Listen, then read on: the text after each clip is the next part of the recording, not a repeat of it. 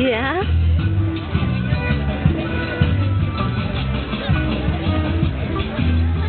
Oh, man. You gave your approval, huh?